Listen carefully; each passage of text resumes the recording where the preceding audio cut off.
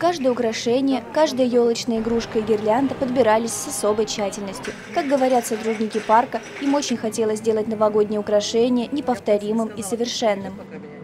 Ярким акцентом являются наши аллеи живых елочек.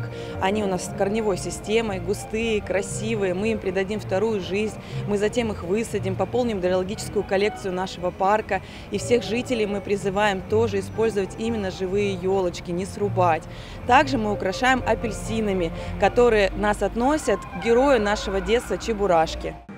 Добродушного персонажа с большими ушами можно встретить в различных местах парка. Он сидит под елкой и охраняет новогодние подарки. Палочки ароматной корицы и цитрусовые дольки стали главными нотками праздника. Ими в этом году украшены все хвойные деревья в Ривьере. Красно-золотые шары дополняют новогоднее убранство. Гирлянды подарят атмосферу уюта и тепла холодным вечером. А пока гости парка согревают друг друга своими улыбками и добрыми словами.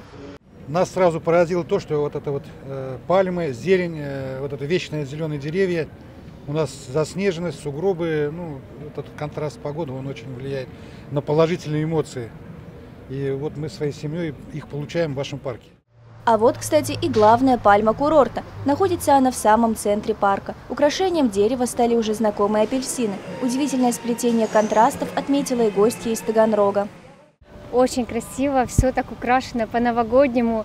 Вроде тропики, а в то же время такое новогоднее настроение создается. Особенную атмосферу создают мастера, чьи произведения ручной работы могут стать замечательным подарком для близкого человека. На праздничной ярмарке представлены изделия, выполненные своими руками. Это различные елочные игрушки, сделанные из дерева и выполненные в технике макраме. Это стилизованные под советские времена рождественские открытки. Это различные венки, а также подсвечники. Волшебная карусель, словно сошедшая со страниц книги сказок, закружит посетителей парка, а музыка сделает путешествие еще интереснее.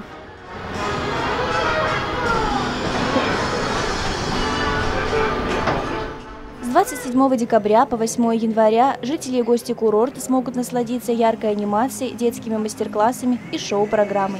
В Ривьере откроется резиденция Деда Мороза и Хаски-центр. А уже сегодня каждый сможет открыть для себя волшебство новогодних чудес, гуляя не только по аллеям этого парка, но и любой центральной улице Сочи. В городе, где нет снежной зимы, уже есть новогоднее настроение. Во всех районах украшены елки и развешена иллюминация. На эти огоньки, подобно мотылькам, уже слетаются первые туристы, которые приняли решение провести новогодние каникулы в Сочи. По прогнозам, в праздничные дни город примет около 300 тысяч гостей. Валерия Сачи, Дмитрий Говорков. Время новостей.